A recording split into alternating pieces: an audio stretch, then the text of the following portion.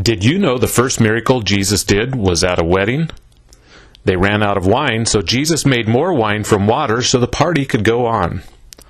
Your wedding is important to God because it represents your marriage, which is a subject near and dear to God's heart.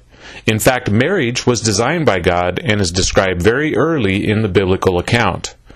The book of Genesis starts with the creation account.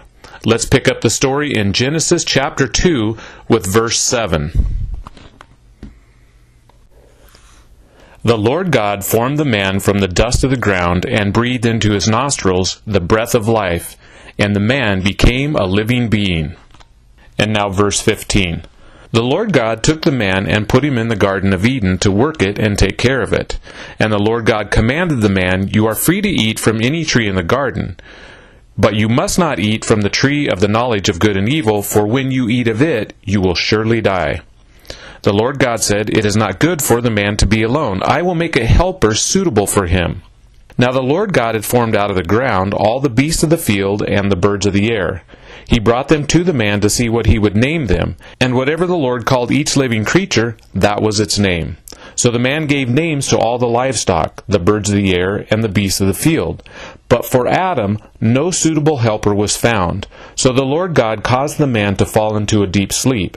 And while he was sleeping, he took one of the man's ribs and closed up the place with flesh.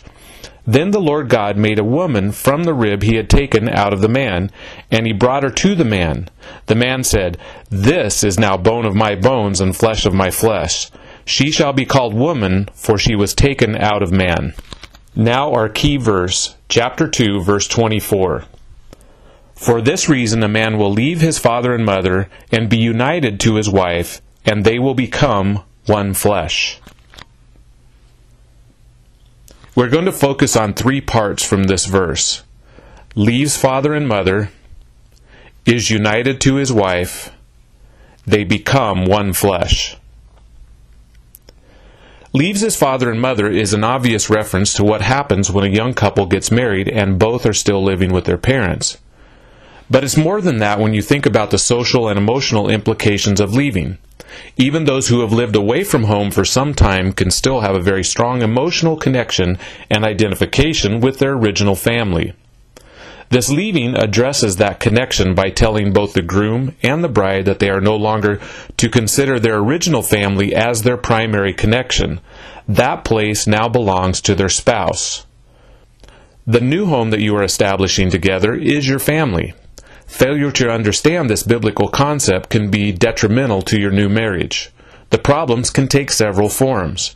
Running home to mom. Having someone from your original family being your primary source of emotional support. Letting your parents or siblings interfere in your marriage.